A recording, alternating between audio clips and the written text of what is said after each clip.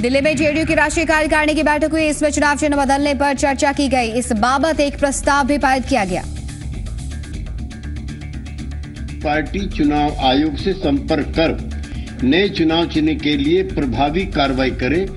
इसके लिए पार्टी की राष्ट्रीय कार्यकारिणी ने पार्टी के राष्ट्रीय अध्यक्ष श्री शरद यादव को अधिकृत किया है कि वे चुनाव आयोग से संपर्क कर इससे संबंधित आवश्यक कार्रवाई करें। इस प्रस्ताव के लिए जेडीयू का एक प्रतिनिधि मंडल चलती चुनाव आयोग से मुलाकात करेगा। जेडीयू की इस बैठक में पार्टी से जुड़े कई ज़रूरी प्रस्ताव पर मुहर लगने के आसार हैं। बिहार चुनाव में मिले जीत के बाद जेडीयू के हौसले काफ़ी बुलंद है। इस वक्त पार्टी खुद को और भी मज़बूत बनाने की कवायद में जुटी हुई है। राष्ट्रीय कार्यकारिणी की इस बैठक में सीएम नीतीश कुमार, पार्टी के तमाम सांसद, मंत्री समेत सौ से ज़्यादा सदस्य हिस्सा ले रहे हैं।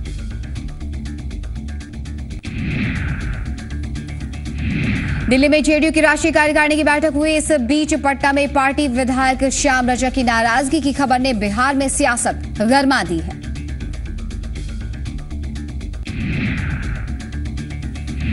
हालाँकि श्याम रजक ने नाराज़गी की बात से इनकार किया है, लेकिन बीजेपी और जीतन राम मांझी ने मौके को तोड़ते हुए उन्हें अपने साथ आने का ऑफ़र दिया है। राष्ट्रीय कार्यकारिणी बहुत ही महत्वपूर्ण नहीं है। राष्ट्रीय कार्यकारिणी में चीज़ों पर बहस होगी। बहस क्या होगी? चर्चा होगी और कुछ फैसले लिए जाएँगे। जो फैसले लिए जाएँगे कार्यक्रम बनेंगे उसमें जो मेरी भूमिका होगी उसको हम बखूबी निभाने का काम करेंगे। इधर श्याम रजक ने जीतन राम मांझी को दो टूक जवाब दिया है। उन्होंने जेडीयू में दलितों के अपमान से साफ़ तौर पर इनकार किया है। राष्ट्रीय जनता दल और जनता दल यू और कांग्रेस की संयुक्त अभियान नीतीश कुमार के नेतृत्व में बिहार की जनता ने 178 सीट दी है और जनता ने जब फैसला दे दिया और यहाँ दलितों को अपमानित नहीं किया जाता है यहाँ दलितों को सम्मानित किया जाता है और मैं बड़े खुश हूँ। बिहार में नेता प्रतिपक्ष प्रेम कुमार ने श्याम रजक को संदेश दिया है। उन्होंने कहा है कि अगर श्याम रजक बीजेपी की नीतियों में आस्था ज़ाहिर करेंगे तो उनका पार्टी में स्वागत है। हमारे पार्टी का जो आइडियोलॉजी है जिसे स्वीकार होता है, उनको स्वीकार करने का काम करते हैं। यदि ऐसी कोई परिस्थिति बनती है और चाहेंगे और भारतीय जनता पार्टी में आस्था व्यक्त करेंगे, हमारे नीतियों में, सिद्धांतों में तो मैं उनका स्वागत करूँगा। आरजेडी के नए प्रदेश अध्यक्ष रामचंद्र पूर्वे हो सकते हैं। सूत्रों की माने तो रामचंद्र पूर्वे को तीसरी बार प्रदेश में पार्टी की कमान संभालने की ज़िम्मेदारी मिल सकती है। पटना के पेड़ बहोर थाना इलाके के खेतान मार्केट के पास रास्ते के विवाद को लेकर दो पक्षों के बीच जमकर झड़प हुई। दोनों तरफ़ से पत्थरबाजी भी की गई। इस पत्थरबाजी में कुछ पुलिसकर्मियों को चोटें आई हैं।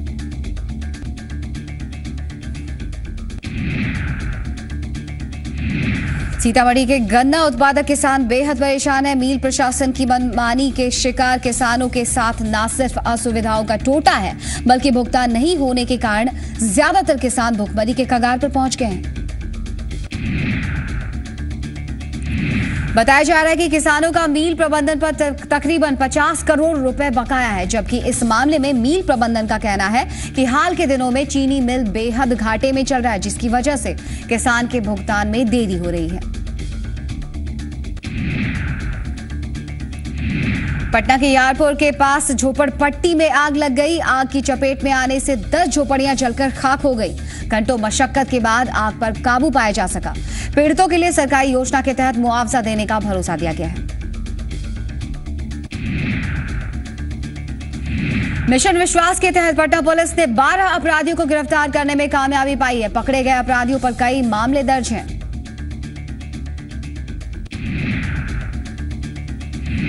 गिरफ़्तार अपराधियों से कई पुराने आपराधिक मामलों का भी खुलासा होने का अनुमान है। शनिवार को भी पटना पुलिस ने 34 अपराधियों को गिरफ्त में लिया था। पटना पुलिस का लगातार जो अपराधियों के खिलाफ अभियान चल रहा है, ऑपरेशन विश्वास के तहत, उसमें आज हमारी टीम के द्वारा रूरल एसपी साहब और SP west, city SP additional SP Danapur एवं बाढ़ के द्वारा बारह कुख्यात अपराधियों को गिरफ़्तार किया गया है, जिसमें से करीब एक रेगुलर राइफल पाँच पिस्टल और पंद्रह बीस राउंड ज़िंदा कारतूस बरामद किए गए हैं। मोतिहारी के बनकटवा में एक हिरण की हत्या का मामला सामने आया है। नेपाल से भटककर काला हिरण बनकटवा गाँव पहुँच गया था। ताजुब की बात यह रही है कि हिरण को ग्रामीणों की मदद से वन विभाग को पकड़ा और मोतिहारी लाने के बजाय चार वन पालकों के जिम्मे वहीं पर छोड़ दिया गया और अज्ञात लोगों ने हिरण को मार डाला। अगले सुबह का इंतज़ार करने के लिए हमने चार आदमी को लगाया था कि आप लोग रह- रहिए वहाँ। सुबह हम लोग आगे कार्रवाई करेंगे। लेकिन इस बीच में जो है सो दुर्भाग्यवश कोई चोर लोग जो आकर के उसको जान मार दिए रात में। हत्या के बाद हिरण के सिंह और कस्तूरी लेकर हत्यारे फरार हो गए। इस मामले में दो वन पालकों को पूछताछ के लिए हिरासत में लिया गया है। काला हिरण फंस गया कहीं। इसके बाद रक्सोल से वन विभाग की टीम आई। उसे निकालने का प्रयास किया और जब नहीं निकल पाया तो उन्होंने चार आदमी को इस जगह डिपुट कर दिया इसको देखने के लिए। दुर्भाग्य से चारों आदमी की मिली भगत हो या नहीं तो अनुसंधान का बात है। और सवेरे पता चला कि हिरन का गर्दन और एक पीछे का टांग किसी तस्कर द्वारा काटा गया है। पूर्णिया के रुपौली थाना के आजो कोपा गाँव में महज एक हज़ार रुपए के लिए एक भाई ने दूसरे भाई की जान ले ली। बताया जा रहा है कि बड़े भाई ने छोटे भाई से एक हज़ार रुपए का कर्ज लिया था, लेकिन समय पर नहीं लौटाने की वजह से दोनों भाइयों के बीच झगड़ा हुआ। सहरसा के बनगांव थाना इलाके के पडरी गाँव में एक फौजी की बेरहमी से हत्या का मामला सामने आया है। बबलू खान को पहले धारदार हथियार के वार से अधमरा किया गया और फिर उसकी आँखें निकाल ली गई। उसके बाद नहर के पास उसे फेंक दिया गया। इलाज के दौरान ले जाते समय फौजी की रास्ते में ही मौत हो गई।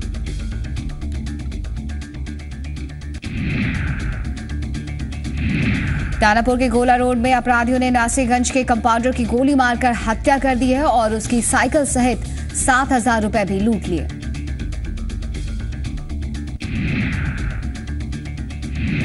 इस घटना के बाद इलाके में दहशत का माहौल है। इस सिलसिले में तीन अपराधियों को गिरफ़्तार किया गया है। पुलिस उनसे पूछताछ कर रही है।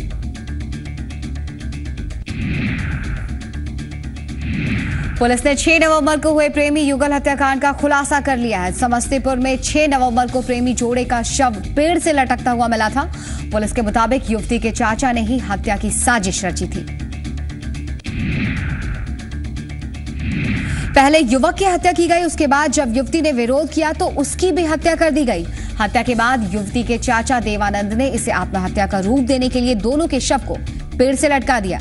फ़िलहाल पुलिस ने इस मामले में गौरी महतो और राजीव कुमार को गिरफ़्तार कर लिया है और बाकी अपराधियों की तलाश में जुट गई है। सीवान पुलिस ने दो अलग अलग इलाकों से छह अपराधियों को गिरफ़्तार किया है। इनके पास से दो पिस्टल, दो लैपटॉप, एक फाइटर, छह मोबाइल फ़ोन समेत कई सामान जब्त किए गए हैं।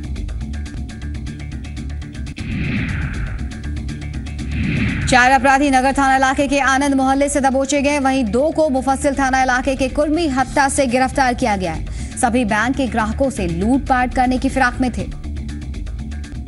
इस कार्रवाई के अंतर्गत चार अपराधी पकड़े गए। इनके साथ काफ़ी ऐसा सामान जो डकैती की तैयारी का लगता है, जैसे हथियार, गोलियाँ, साथ में लैपटॉप, पेन ड्राइव और चाकू, हर तरह की चीज़ मिली है। इन सभी अपराधियों को न्यायिक हिरासत में भेजा जा रहा है, जिससे इस तरह के अपराध पे लगाम लग सके। बेतिया पुलिस ने पचास हज़ार के इनामी अपराधी हरि यादव को गिरफ़्तार करने में कामयाबी पाई है। हरि यादव को भारत और नेपाल के सीमावर्ती इलाके कंगली से गिरफ़्तार किया गया। पुलिस के मुताबिक हरि यादव पर रंगदारी, हत्या, अपहरण और लूट के कई मामले दर्ज है और पिछले दो दशक से हरि यादव ने इलाके में एक के बाद एक कई आपराधिक वारदातों को अंजाम देकर इलाके में दहशत फैला रखी थी। हरी यादव जो एक पश्चिम चंपारण का कुख्यात अपराध कर्मी है, करीब 50 से ज़्यादा जघन्य कांडों में इसकी संलिप्तता रही है और राज्य सरकार के द्वारा पचास हज़ार का इनाम भी इसकी गिरफ्तारी पे घोषित किया गया था। इसकी गिरफ्तारी यहाँ की टीम तथा नेपाल पुलिस से समन्वय स्थापित कर सुनिश्चित किया गया है। लखीसराय ज़िले की सूर्यगढ़ा पुलिस ने दो तस्करों को गिरफ़्तार किया है गंगा सागर और मिथिलेश कुमार लंबे समय से हथियारों की तस्करी कर रहे थे। हथियार लाते समय एनएच अस्सी पर ये पुलिस के हफ़्ते चढ़ गए। इनके पास से तीन पिस्टल, पाँच मैगजीन, पैंतालीस ज़िंदा कारतूस और दो मोबाइल फ़ोन समेत तीन सौ जब्त किए गए। दोनों तस्कर बक्सर के जितेंद्र उपाध्याय के पास हथियार ले जाने की फिराक में थे। अब पुलिस जितेंद्र उपाध्याय के यहाँ भी छापा मारने की तैयारी में है। पश्चिमी चंपारण के बघी बाबा चौक से पुलिस ने तीन चरस तस्करों को गिरफ़्तार किया है। तस्करों के पास से साढ़े चार किलो चरस जब्त किए गए, जिसकी अंतर्राष्ट्रीय बाज़ार में कीमत एक करोड़ बताई जा रही है। तस्करों के पास से एक एक हज़ार के 20 जाली नोट भी बरामद किए गए हैं। साथ ही दो मोबाइल फ़ोन, एटीएम कार्ड और चोरी की दो बाइक भी जब्त की गई। सभी तस्कर नौतन इलाके से ताल्लुक रखते हैं। शेखपुरा में पुलिस ने शराब की कई भट्टियों को ध्वस्त किया है। मुरारपुर गाँव के टाटी नदी के किनारे शराब की अवैध भट्टियाँ चलाई जा रही थी, जब पुलिस की टीम वहाँ छापा मारने गई तो दंग रह गई। शराब की अनगिनत भट्टियाँ तालाब के किनारे बनी हुई थी। ज़मीन के अंदर शराब को छिपाकर रखा गया था। लगभग चार दर्जन से ज़्यादा शराब की भट्टियों को पुलिस ने ध्वस्त किया है और हज़ारों लीटर महुआ शराब को बहा दिया गया। छापेमारी की भनक शराब माफिया को पहले ही लग गई थी। पुलिस के पहुँचने से पहले ही सभी फरार हो गए। तालाब और नदी के किनारे बड़े पैमाने पर अवैध शराब का कारोबार किए जाने से नदी का पानी भी दूषित हो गया है। पिछले एक साल में यहाँ एक दर्जन से ज़्यादा बार छापेमारी की गई, लेकिन छापेमारी के अगले दिन शराब माफिया फिर से अपने धंधे में जुट जाते हैं। नदी किनारे सब बृहद पैमाने पर दारू का कारोबार हो तो तीन चार दिन पहले हम लोग आके ध्वस्त किए थे सब फिर आज भी हम लोग आए हैं करीब सौ की संख्या में जवान। देखो वहाँ भी है सबको निकाल के जा रहा है। दूर से चूँकि दूर से देख लेता है इसलिए भाग जाता है। कितने भाटिया को ध्वस्त किया गया है सर कम से कम 100 से ज़्यादा होगा। और निर्मित शराब भी काफ़ी नहीं मात्रा तो अभी बरामद नहीं हुआ सब रॉ मटेरियल है जो गाड़ दिया है उसको हम लोग गिरा रहे हैं बर्बाद कर रहे हैं। सीवाल रेलवे स्टेशन के टिकट काउंटर पर दलालों का बोलबाला है। अगर आप यहाँ तत्काल टिकट लेने के लिए लाइन में लगे रहते हैं तो कंफर्म टिकट शायद ही आपको नसीब हो। क्योंकि आपसे पहले दलाल काउंटर से कंफर्म टिकट ले लेंगे और आपकी बारी आने तक कंफर्म टिकट वेटिंग में तब्दील हो जाएगा। खुफिया कैमरे से ली गई तस्वीर इस पूरे खेल को उजागर कर रही है, जिसमें काउंटर के अंदर का सच साफ़ साफ़ देखा जा सकता है। रिजर्वेशन काउंटर के अंदर एक शख्स मौजूद है जो बुकिंग क्लर्क के पीछे खड़ा है। वो धीरे से एक पर्ची बुकिंग क्लर्क की तरफ़ बढ़ाता है और बुकिंग क्लर्क बड़ी चालाकी से पोर्चा बिना हाथ में लिए ही टिकट बना देता है। काउंटर के बाहर खड़े लोगों को लगता है कि उनका टिकट बन रहा है, जबकि ये टिकट दलालों के हाथ में चला जाता है और बाहर खड़े लोगों से बुकिंग क्लर्क कहता है कि वेटिंग हो गया। इतना ही नहीं, दलाल और बुकिंग क्लर्क की मिलीभगत से काउंटर के अंदर ही ग्राहक को टिकट भी दे दिया जाता है और वहीं पैसे भी ले लिए जाते हैं। पटना के संजय गांधी जैविक उद्यान में मौजूद वन्य प्राणियों पर भी ठंड का असर दिखाई देने लगा है। हालाँकि चिड़ियाघर प्रबंधन की तरफ़ से वन्य प्राणियों को ठंड से बचाने के लिए तमाम उपाय किए गए हैं, ताकि उन्हें कोई नुकसान ना हो। शेर और बाघ के लिए फूस के टाट लगाए गए हैं और ब्लोअर भी चलाया जा रहा है। वहीं सांप घर में भी ज़्यादा वाट के बल्ब लगाए गए हैं। भागलपुर के कला केंद्र में रंग ग्राम जन सांस्कृतिक मंच की तरफ़ से आयोजित तीन दिवसीय रंग महोत्सव के दूसरे दिन लोक नृत्य एवं संगीत की प्रस्तुति पेश की गई। इस प्रस्तुति को लोगों ने काफ़ी सराहा। पटना के गांधी मैदान में सरस मेला का शुभारंभ हो गया है। इस मेले में इस बार करीब 400 से ज़्यादा स्टॉल्स लगाए गए हैं। मेले में कला और संस्कृति की बेहतरीन झलक देखने को मिल रही है।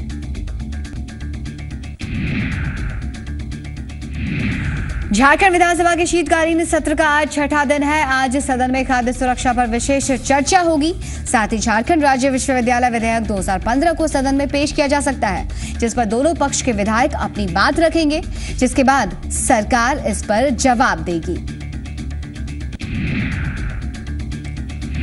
आज सदन में लोहरदगा के नवनिर्वाचित विधायक सुखदेव भगत शपथ लेंगे। विधानसभा अध्यक्ष डॉक्टर दिनेश राम सुखदेव भगत को शपथ दिलाएँगे।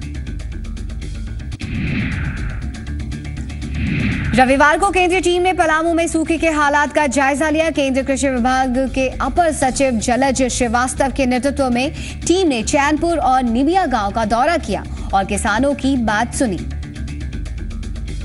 सातों जिलों में रिप्रेजेंटेटिव तरीके से जो हमने देखा, एक सी ही स्थिति है। कहीं पे किसी किसी खेत में पाँच परसेंट भी पुराने जो होना चाहिए पैदावार उसका पाँच परसेंट भी नहीं हुआ है, कुछ में सिक्सटी परसेंट तक हुआ है। कभी ओलावृष्टि हो गई, कभी अल्पवृष्टि हो गई, इन सब की बात अलग है। केंद्रीय टीम ने किसानों को आश्वासन दिया कि सुखाड़ की समस्या जल्द से जल्द दूर की जाएगी और ज़रूरत के मुताबिक मदद भी दी जाएगी। बता दें आपको कि पलामू सूखे से सबसे ज़्यादा प्रभावित जिला है।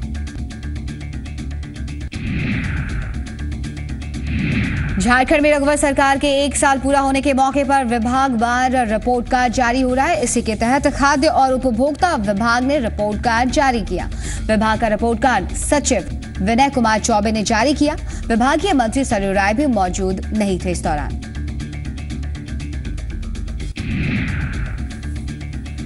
रिपोर्ट में राष्ट्रीय खाद्य सुरक्षा अधिनियम 2013 को लागू करने को बड़ी उपलब्धि बताया जा रहा है। इस अधिनियम के तहत राज्य में इक्यावन लाख सत्तर हज़ार एक सौ उनसठ परिवारों के बीच एक लाख तीस हज़ार टन अनाज हर महीने बांटा जा रहा है। खाद्य उपभोक्ता सचिव ने बताया है कि राज्य भर में 370 दाल भात केंद्र चलाए जा रहे हैं। राज्य सरकार इस साल किसानों से एक हज़ार चार सौ दस रूपए प्रति क्विंटल की दर से धान खरीदेगी। एक साल की उपलब्धि बताने के दौरान खाद्य उपभोक्ता सचिव ने बताया है कि राज्य में करीब अस्सी हज़ार डुप्लीकेट राशन कार्ड बने हैं। झारखंड के पूर्व कृषि मंत्री योगेंद्र साहब को जमानत मिलने के बाद हजारीबाग जेपी केंद्रीय जेल से रिहा कर दिया गया। करीब चार महीने बाद जेल से निकलने पर उनके समर्थकों ने जोरदार उनका स्वागत किया।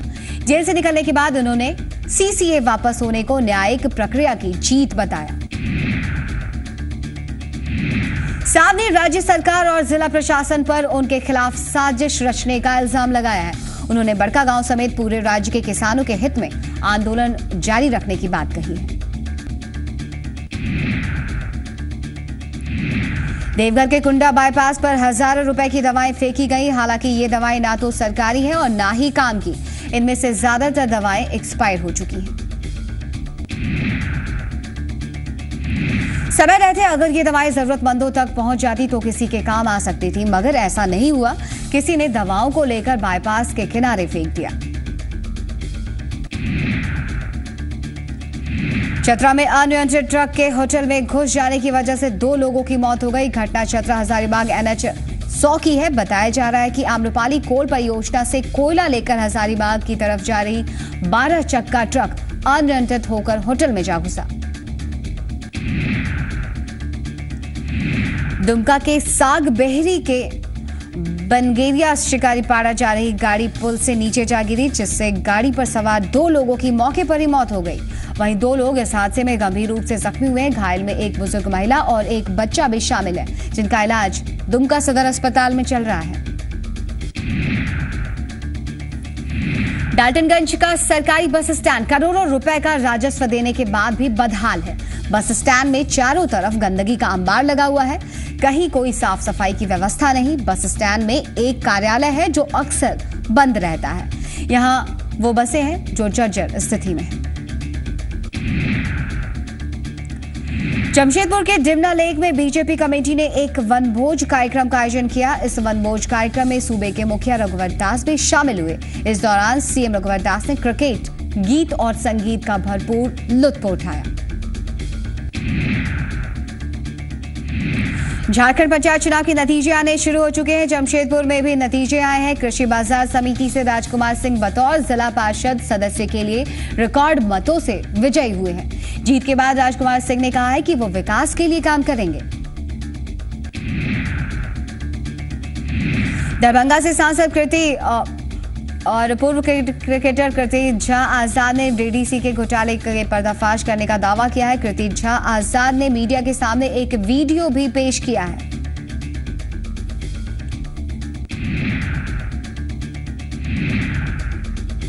वीडियो में यह दिखाया गया है कि डीडीसीए ने 14 ऐसी कंपनियों को लाखों रुपए का भुगतान किया है, जिसके बारे में अधूरी या फिर गलत जानकारी थी। उन्होंने अपने वीडियो में बताया है कि विकिलिप्स फॉर इंडिया और सनस्टार अखबार ने पहले ही इस तरह का खुलासा किया है कि एक प्रिंटर का किराया तीन हज़ार रोज और लैपटॉप का किराया सोलह हज़ार रोज दिया गया है। कृति आज़ाद ने पत्रकारों के सामने चुटकी ली है। उन्होंने कहा है कि अगर किसी को भ्रष्टाचार में पीएचडी लेना है तो वो डीडीसीए जा सकता है। हालाँकि डीडीसीए ने कृति आज़ाद के भ्रष्टाचार के आरोपों को सिरे से खारिज किया है। डीडीसीए मामले पर अरुण जेटली ने कहा है कि वो केजरीवाल समेत आपके कुछ नेताओं के खिलाफ मानहानि का केस करेंगे। वहीं घोटाले में जाँच के लिए दिल्ली सरकार ने कमीशन ऑफ़ इंक्वायरी बनाने का ऐलान किया है।